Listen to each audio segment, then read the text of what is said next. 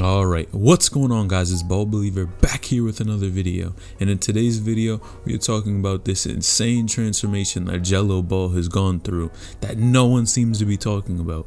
Now before I get in the video I just want to make sure you guys give a like on this video, subscribe to the channel, turn on post notifications to get a new notification every time I upload a new video. Alright now first and foremost guys, thank you for all the recent support that we've been having. The channel just hit 3k subscribers the other day and that's definitely coming a long way. Alright, now let's get into it. Now Gelo Ball is definitely a name that everyone knows in the basketball scene. Now Gelo is definitely one of those players that I don't think gets the type of attention he deserves. Now Gelo is definitely a good player, but obviously people look at Lonzo and LaMelo and really think that he's not that good of a player. Now I have been watching him for a minute now and he's definitely gotten better over the years, but what has recently come out in these workouts that he's been getting in have clearly have been paying off. Now everyone knows all the things that Gelo has gone through. Back in the day when he was high when he was in high school and then went to UCLA, and we all know what happened there. He got ended up getting caught for stealing and got locked up there.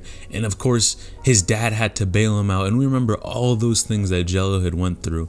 And then after that, basically he played in the JBA and really was just out there killing. And obviously he played overseas as well with his brother and was doing pretty well over there. Now we all know what happened. He didn't end up getting drafted and that was very surprising, but unfortunately, you know, things do happen for a reason. Now he kept continuing to work on his game and people were always wondering what was his next step. But Gelo has definitely come under a lot of ridicule and people definitely criticize his game all the time. Now one thing people look at is his athleticism and always pretty much point towards that and say he's not really NBA ready. Now of course he did get signed to the NBA G League with the OKC Thunder. And that was a nice move to see that he's finally making some strides and getting that much closer into the NBA.